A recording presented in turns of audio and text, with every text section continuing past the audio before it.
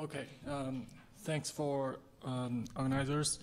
And on behalf of our team, um, today I'm going to present uh, the latest discovery um, made possible by computation on the Blue Water supercomputer. Uh, we investigated uh, molecular mechanisms underlying antibiotic action uh, target on the ribosome. This project uh, was initiated by uh, PI Alexander Mankin in uh, uh, University of Illinois Chicago campus. And my PhD advisor, Klaus Schulten, is also is a co-PI of this project. So um, the ribosome um, is, is the ubiquitous uh, molecular machine in all living cells responsible for uh, translating genetic, genetic information into functional proteins. Because of its uh, critical role in life, um, many antibiotic drugs target the ribosome. And thanks to the large scale uh, supercomputer, we can simulate uh, the complete uh, ribosome system uh, up to uh, microsecond um, time scale. So we uh, performed molecular dynamics simulations um, um, to study the uh, interaction between antibiotic drugs uh, and, and the ribosome. So uh, these slides highlight the, uh, the significance of uh, antibiotic drug research.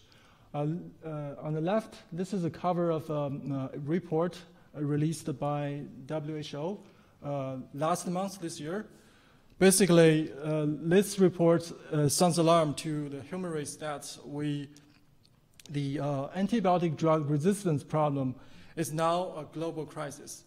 Uh, as we can see from this map, the countries in red have already uh, reported at least one case of multi-drug resistance. Uh, basically, it means that um, the patient, the, the infection of the patient cannot be um, cured by any of the uh, antibiotic drugs uh, on the market um, because the, uh, the bacteria um, is resistant to all of uh, the drugs we have.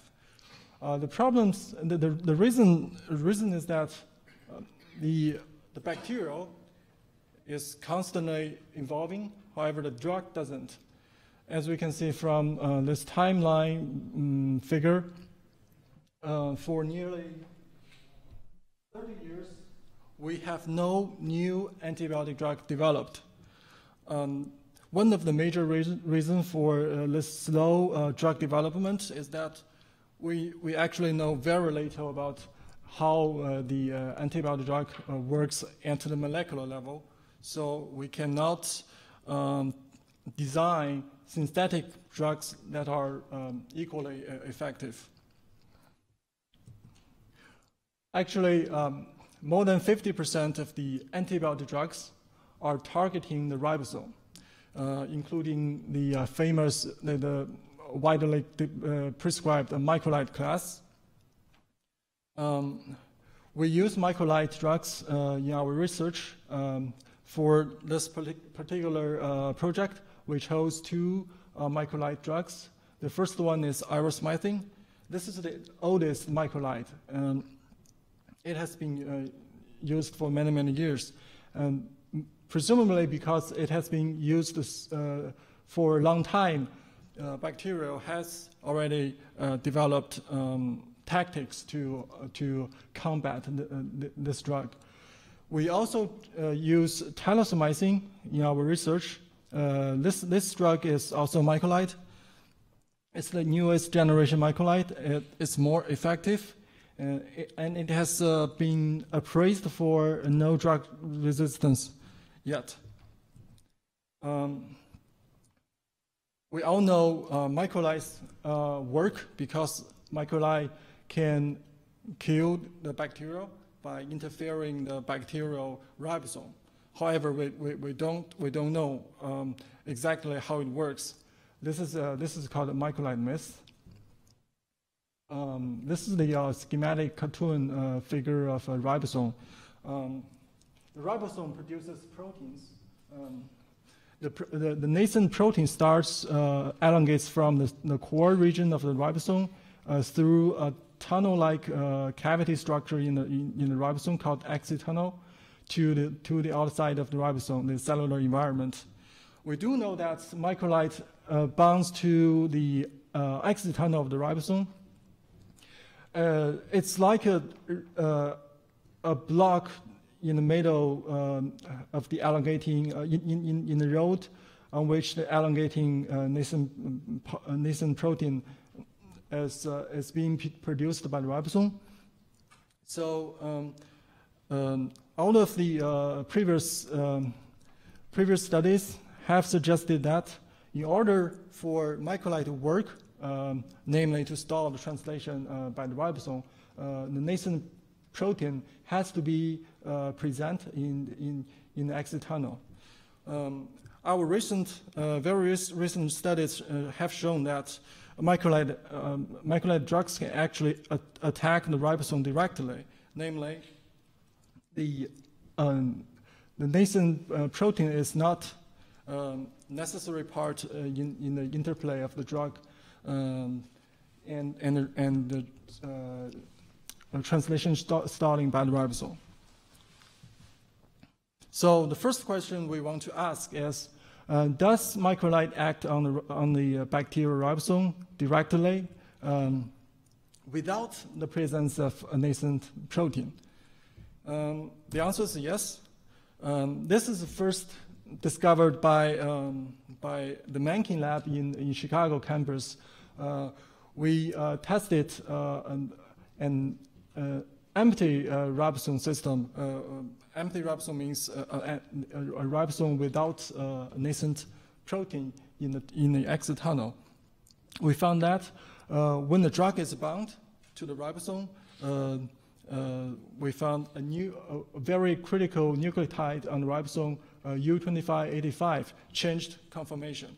However, due to the resolution uh, limitations of the biochemical study, we, can, we don't know what kind of conformation uh, change uh, to this uh, nucleotide. Um, so we, um, we modeled accordingly uh, the same system uh, in our experiments. we performed MD simulations on blue waters. Namely, we have, um, we have a drug uh, we modeled a drug-free uh, ribosome system using the E. coli ribosome uh, because that, that's the system we studied uh, with our uh, biochemical um, techniques. We also, we also modeled uh, erythromycin bound ribosome. By performing microsecond simulations, um, we found that when the drug is bound, um, is present, the actually two nucleotides um, changed conformations. Uh, the first one is U2585, which is also observed in the bi biochemical uh, studies. Uh, the other one is A2602. Both nucleotides changed from a looped out orientation um, to a folded in orientation. As we can see uh, by this movie, this is a movie for one of our simulations. We, we performed multiple uh, uh independent simulations to verify uh, the founding. this is one of the simulations. This, this movie shows the transition events of the two, uh, uh, of, the of the conformational change of the two uh, nucleotides.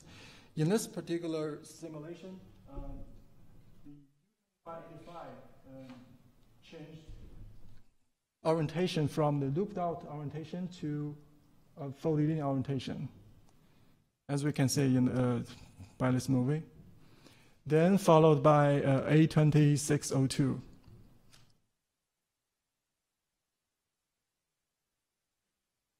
This simulation um, has the erythromycin bound in the, in the ribosome. And we can see that uh, the transition happens actually uh, within a time scale of um, uh, 50 nanosecond.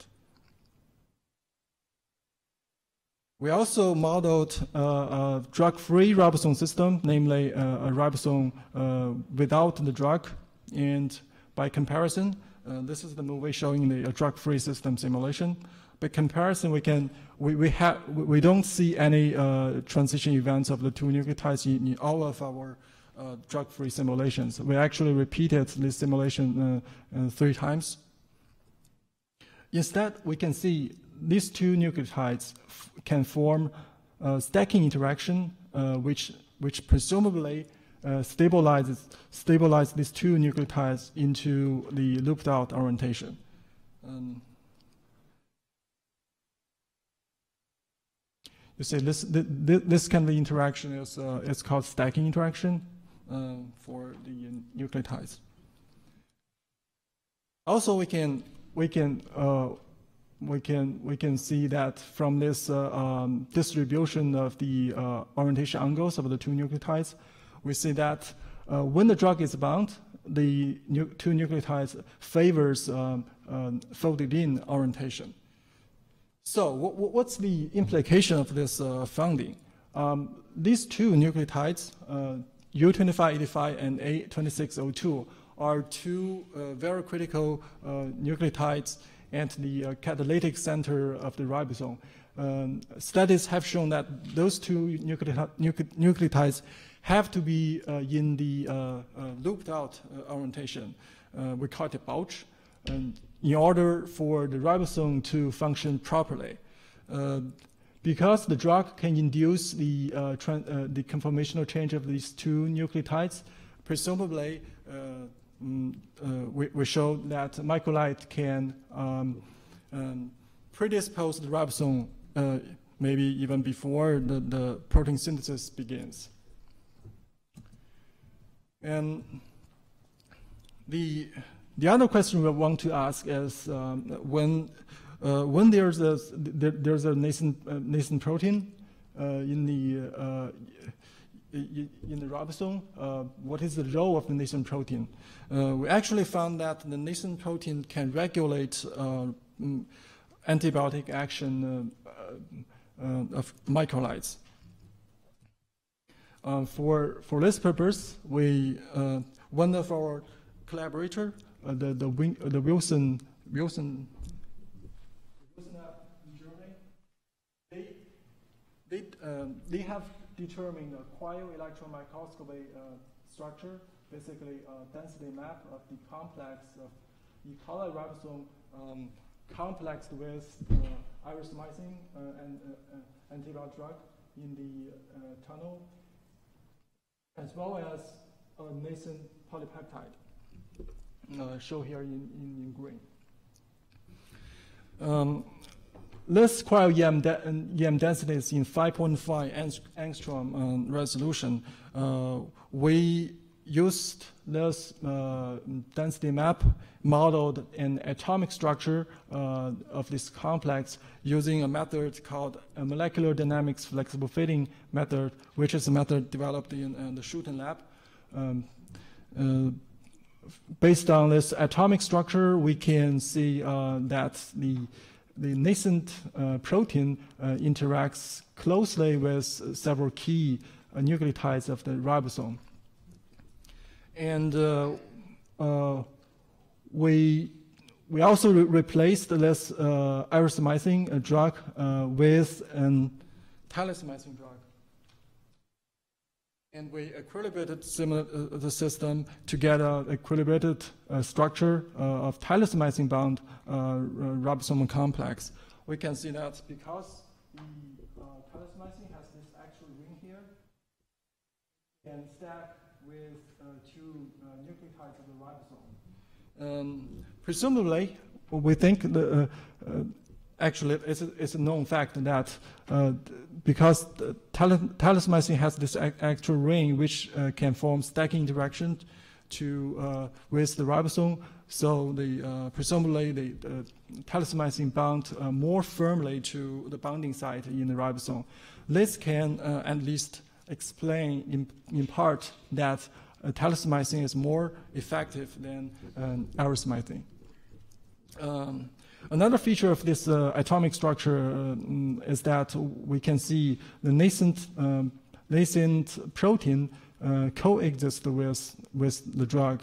Actually, the drug doesn't block, block the way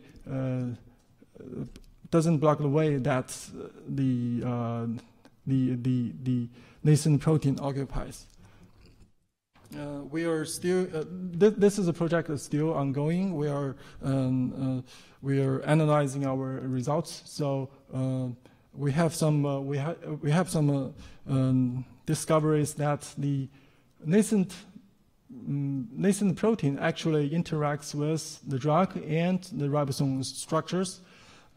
Um, however, we, we, we're still working on it. Um, so I, I, I, I have to maybe uh, report in later uh, talks. Um, basically, that's uh, that's all for my talk today. Uh, we we would like to thank our uh, funding agencies and uh, group members in Klaus Schulten's lab, the Mankin lab, and, and also the Wilson lab. Um, and personally, I, I would like to thank Dr. Wei Han, who worked very hard also in this project. Um, thank you.